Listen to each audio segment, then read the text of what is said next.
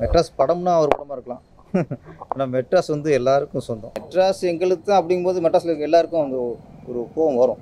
மெட்ராஸ் எல்லாருக்கும் தான். நாங்கள் மெட்ராஸுக்கு வந்து நாங்கள் தான் மெட்ராஸ் அப்படின்னா அப்புறம் அது எந்த அடிப்படையில் இருக்குல்ல? பாரஞ்சித் வந்து நாங்கள் தான் மெட்ராஸ் அந்த நாங்கங்கிறது யார்? அதான் விஷயம். நாங்கள் தான் மெட்ராஸ் அப்படின்னா அந்த நாங்கங்கிறது யார்? நீங்கள் யார் சொல்கிறீங்க நான் பா ரஞ்சித் வந்து ஸ்பீச் கொடுத்துருக்காரு. அதை பற்றி நாங்கள் கரெக்டாக சொல்லுங்கள் அது மெட்ராஸ்னால் நாங்கள் சொன்னாரா? மெட்ராஸ் படம்னா ஒரு படமாக இருக்கலாம் ஆனால் மெட்ராஸ் வந்து எல்லாருக்கும் சொந்தம். இங்கே வந்து யாரும் இந்த ஏரியா எனக்கு அந்த ஏரியா உனக்கு இங்கே பிரிச்சுக்க முடியாது. இங்கே சென்னை அப்படிங்கிறது தமிழ்நாடு முழுக்க எல்லா ஏரியாவில் வந்து இங்கே மக்கள் வாழ்கிறாங்க இந்த ஏரியா எங்கள் ஏரியா அப்படிங்கிறதுலாம் அது வந்து ஒரு மேடையில் கொஞ்சம் ஒரு எமோஷனாக பேசி பார்த்த தவிர உண்மை இல்லை. சென்னை எல்லாருக்கும் சொந்தம். ஆமாம் சார்.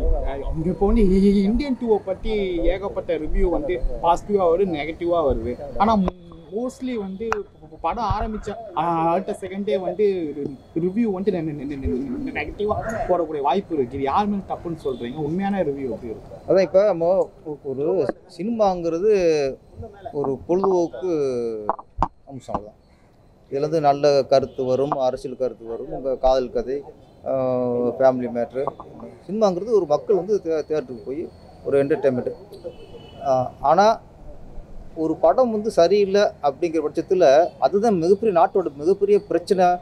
பெரிய பொருளாதார சரிவு மாதிரி வரிஞ்சு கட்டிட்டு நிறைய பேர் ரொம்ப கிண்டல் கேலி இதெல்லாம் ரொம்ப அதெல்லாம் தப்பு.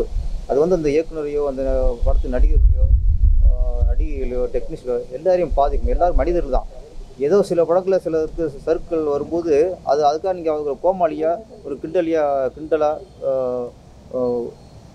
ப்ரோமோ பண்ணுறது ரோல் பண்ணுறது ஏன்னா இது இது தேச குற்றமாக இது படம் வந்து சரியில்லைன்னா அது இன்னும் ஒரு தேச குற்றம் மாதிரி பண்ணுற பண்ணுறாங்க நாட்டில் ஆயிரத்தி பிரச்சனை இருக்குது எத்தனை பிரச்சனை நாட்டில்? மின் கட்டணம் ஏறி போகுது. அங்கே ஒருவன் கள்ளச்சாரம் குடிச்சு சாகுறான். இது இங்கே வரிசையாக படுகொலை நடக்கு நடக்குது. இது இது இதுக்கு இந்த கோபம் வந்து இங்கே வரமாட்டேங்குது. ஒரு படம் பெரிய போச்சுன்னா அது அதுதான் இன்னைக்கு தமிழ்நாட்டில் பெரிய பிரச்சனை மாதிரி ஒரு ஒரு ரெண்டு வாரமாக ஃபேஸ்புக்கு ட்விட்டர் எதை பார்த்தாலும் ஒரு படத்தை ஒரு தோல்வியை எனக்கு கிண்டல் பண்ணலாம் ஒரு தோல்வியை கொண்டாடுற ஒரு மனநிலை அது ஒரு மன நோய் தான் அது. ஒரு லிமிட்டு தான். படம் சரியில்லையா? ஓகே பார்க்காத. ஒரு சரின்னு சொல்லி போயிடலாம். எதிர்பார்த்த அளவுக்கு இல்லை சொல்லலாம். ஆனால் அதை ரொம்ப ஒரு இயக்குனர் நடிகர்லாம் மனசை புண்படுபடி கேள்வி கட்டப்பட்டு தப்பு. சார் ப்ளூ சட்டை மாறன் வந்து தொடர்ச்சியாகவே வந்து ஒவ்வொரு படங்களையும் வந்து டேமேஜ் பண்ணுறாங்க இயக்குனர் சங்கத்துலேருந்து அந்த மாதிரி ஏதாவது ஒரு ஸ்டெப் எடுக்க முடியுமா?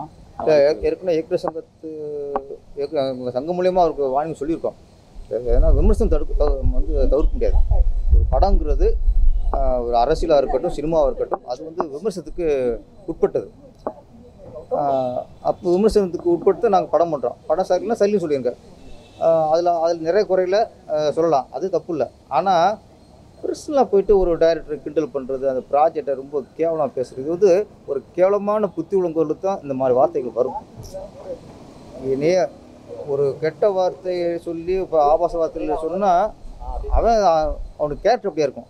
ஒருத்தன் கேரக்டர் நாகரிகமாக விமர்சனம் பண்ணுங்க. அதுதான் நாங்கள் சொல்கிறோம் விமர்சனம் பண்ணக்கூடாதுங்கிற ஒரு படம் சரியில்லை சரியில்லை சரியில்லை சரியில்லை தான் படம் செகண்ட் ஹாஃப் சரியில்லைன்னா செகண்ட் ஹாஃப் சரியில்லை தான் படம் முக்கியம்னா முக்கியம் தான் அதை சொல்கிற விதம் ஒன்று இருக்குது ரொம்ப இவர் பெரிய ஒரு ஞானி மாதிரி இவர் பெரிய மேதாவி மாதிரி இவர் என்ன படம் கொடுத்து ஹிட்டு கொடுத்தாரு? முதல்ல நீங்கள் ஒரு படத்தை கொடுத்து ஹிட்டை கொடுத்துட்டு அப்புறம் கிட்ட பண்ணுங்கள் நீங்கள் விமர்சகர்னா அந்த விமர்சனத்துக்கு ஒரு லிமிட் இருக்குது ஒரு பர்சனலாக போயிட்டு நான் சொன்னேன், ஒரு படத்தை பற்றி பேசணுங்க இவர் என்ன பண்ணுறாரு அந்த ப- படத்தை டேரக்டரை பற்றி அந்த ஒரு நடிகரோட பர்சனல் லைஃப்பை பற்றி அதுக்கு முன்னாடி ஏதோ அது ஒரு விமர்சனம் ரெண்டு நிமிஷம் போயிட்டு ஒரு வேற ஒரு கதையெல்லாம் போகுது. ஃபைனான்ஸ் வாங்கினது ரிலீஸ் பண்ண ரிலீஸ் பண்ணுறதுக்காக போராடினது இந்த கதை தேவையில்லை. ஒரு படம் விமர்சனம்னா அந்த படத்தை மட்டும் பேசணும். ஆனால் பா ரஞ்சித் வந்து அவர் ஆதங்கத்தை பற்றி பேசியிருப்பாரு. இதை வந்து மோகன்ஜி என்ன பண்ணியிருப்பாருன்னா இந்த சந்தர்ப்பத்தை பயன்படுத்தி அவர் வந்து நீ சினிமா பட டைலாக்லாம் நீங்கள் பேசுகிறீங்களே அப்படின்ற மாதிரி ஒரு ட்வீட் பண்ணியிருக்காரு அது எப்படி பார்க்குறீங்க? இல்லை மெட்ராஸ் எங்களுக்கு தான் அப்படிங்கும்போது மெட்ராஸில் எல்லாருக்கும் அந்த ஒரு கோவம் வரும். மெட்ராஸ் எல்லாருக்கும் தான். நாங்கள் மெட்ராஸுக்கு வந்து நாங்கள் தான் மெட்ராஸ் அப்படின்னா அப்புறம் அது எந்த அடிப்படையில் இருக்குல்ல? இப்போ பா ரஞ்சித் வந்து நாங்கள் தான் மெட்ராஸ் அந்த நாங்கங்கிறது யார்? அதான் விஷயம்.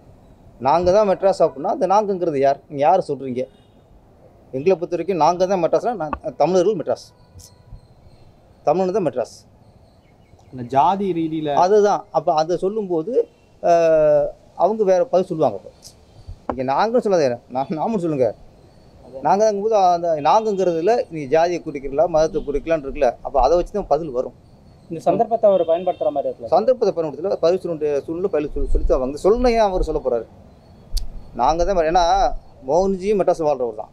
இப்போ நாங்கள் நானாவது கிராம நாட்சங்கோட்டையிலேருந்து சென்னைக்கு வந்த நிறைய பேர் நிறைய இயக்குனர்களாக இருக்கட்டும் நிறைய நடிகர்களாக இருக்கட்டும் வேலூர்லேருந்து நாங்கள் இங்கே வந்தோம். சினிமா கற்றுக்கிட்டோம் சினிமாவில் வந்து நான் உதவி இயக்குனர் தொழில் கற்றுக்கிட்டு அது மாதிரி நிறைய பேர் கற்றுக்கிட்டு சினிமா பண்ணுறோம் ஜெயிக்கிறோம் தூக்குறோம் அது வேறு விஷயம். ஆனால் நாங்கள் தான் மெட்ராஸ் அப்படிங்கும்போது மோகன்ஜி அவர் மெட்ராஸ் தான். அப்போ நான் யாருங்கிறார்? நீ இங்கே நாங்கள் தான் மெட்ராஸ்னா அப்போ நாங்கள் யாருன்னு கேட்குற கேள்வியில் ஒரு நியாயம் இருக்கும் அப்படி இந்த அரசியல் வந்து அரசியலாக இருக்கணும். அரசியல் அரசியல்வாதிகள் வந்து அரசியல் ரீதியான கருத்துக்கு பதில் சொல்லணும். இப்போ அரசியல்வாதிகள் வந்து சினிமாவில் வந்து நிறைய பேர் அரசியல் போகிறாங்க அப்போ சினிமாவுக்கு போ போகிறவங்க அவங்க அரசியல் பேசும்போதும் அரசியல் கருத்து சொல்லும்போதும் அந்த அரசியலுக்கு அவங்க அரசியல்வாதிகள் கருத்து சொல்லணும். இங்கே சினிமா நடிகை ஒரு நடிகை அப்படிங்கிறனால ஒரு அரசியல்வாதி அவங்க அவங்க பர்சனல் லைஃப்பில் போய் கேவலப்படுத்துறதுக்கு எந்த உரிமை இல்லை ஃபஸ்ட்டு நீங்கள் அரசியல் நிறைய நடிகைகள் இருக்காங்க. அவங்க கருத்து சொல்கிறாங்க இப்போ குஷ்பு மேடம் இருக்காங்க. அப்புறம் ராதிகா மேடம் இன்றைக்கி அரசுக்கு வந்திருக்காங்க. இவங்க ஏதாவது கருத்து சொன்னால் அரசியல் ரீதியாக கருத்து சொன்னால் அதுக்கு அரசியல் ரீதியாக பதில் சொல்கிறது தான் ஒரு ஆம்பளைக்கு அழகு. ஒரு பெண் என்பதால் ஒரு நடிகை என்பதால் அவங்க பெர்சனல்லாம் போயிட்டு நீங்கள் உங்கள் யூகத்தில் போய் ஒருத்தர் அசிங்கப்படுத்து ரொம்ப தப்பு அது. அரசியல்வாதி வந்து ஒரு ஆரோக்கியமான அரசியல்வாதியாக இருக்கணும். உங்கள் பெர்சனல் வஞ்சன்ஸையும் உங்கள் பெர்சனோட வெறுப்பையும் கக்குறதுக்கு தயவுசெய்து இங்கே சினிமா நடிகர்களையும் சினிமா நடிகை முக்கிய முக்கிய நடிகைகளை தயவுசெய்து அவங்க வாழ்க்கையில் உள்ள வராதீங்க. அது இப்போ ஏன்னா அது தட்டிப்பாக விஷால் சார் வந்து ரொம்ப போல்டான ஆள். எதையும் டக்குன்னு போல்டாக பேசுகிற கூடியவர் விஷால் சார். அவர் நடிகர் சங்கம் வந்து இந்த மாதிரி விஷயத்துக்கு தலையிட்டு கட்டணம் தெரிவிக்கணும். நடிகர் சங்கம் எதுக்கு இருக்குது இப்போ எங்கள் இயக்குனர் சங்கத்தில் ஒரு உதவி இயக்குனருக்கோ இல்லை ஒரு ஒரு இயக்குனருக்கோ சம்பள பிரச்சனையோ இல்லை அவங்களுக்கு பொதுவாக பிரச்சனையாக இருந்தால் சங்கம் தலையிடுது. அப்போ நடிகர் சங்கங்கிறது அந்த உறுப்பினர்களுக்கு அவங்க குரல் கொடுக்கணும். இந்த மாதிரி அரசியல்வாதி வந்து ஒரு ஒரு நடிகர் வந்து நிறைய பேர் சொல்ல ஏற்கனவே மேடை மேடையும் பேசியிருக்காங்க. நடிகை பேரை சொல்லி இவங்களாம் ஐட்டம்னு இருக்காங்க.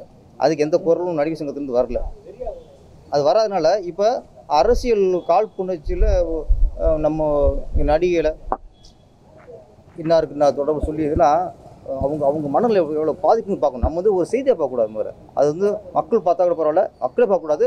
சினிமாக்காரங்க வந்து ஒரு சினிமாக்காரனுக்கு ஒரு இழிவாவோ யாராவது அரசியல்வாதிகளோ இல்லை வேற பொதுவாளர்களோ பொது சினிமா நடிகர்களோ நடிகைகளையோ ரொம்ப அவங்க பர்சனல் இப்போ பாதிக்கிற மாதிரி பேசினா தயவுசெய்து நடிகர் சங்கம் வந்து அதுக்கு கண்டனம் தெரிவிக்கணும்.